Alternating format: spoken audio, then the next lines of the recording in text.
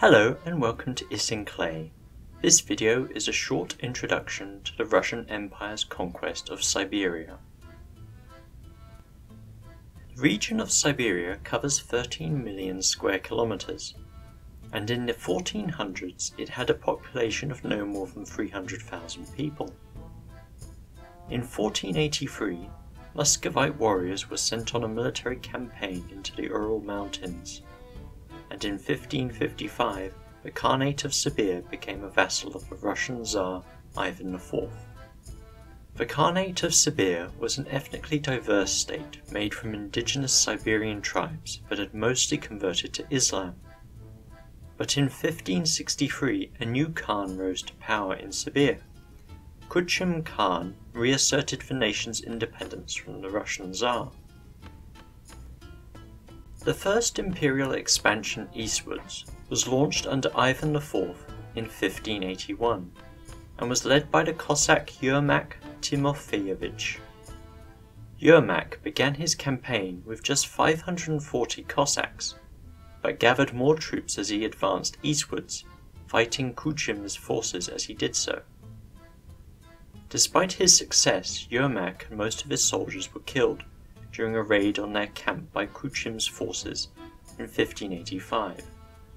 Despite the setback, the Russian advance eastwards continued, and in 1639 they reached the shores of the Pacific Ocean. During the expansion, the Russian government used forts and garrisons to spread its power. In 1586, the city of Tyumen was founded, followed by Tomsk in 1604 and Krasnoyarsk in 1628. Other settlements included Tara, Yeniseisk, Mangazeya, and Tobolsk, the last of which became the effective capital of Siberia from 1590. The process of expansion was made easier through the assimilation of cooperative tribes and their leadership into the Russian administrative system. For example, Kuchum's grandson, Arslanhalai, was eventually made Khan of the Kasim Khanate, one of the Tsar's vassals. On the topic of Siberia, there are several theories as to where its name comes from. One suggests that it was derived from a fortress called Sibir at Kashlik near Tobolsk. In a map published in 1595 by Gerardus Mercator, Sibir is marked as both the settlement and the surrounding area, along a left tributary of the river Ob.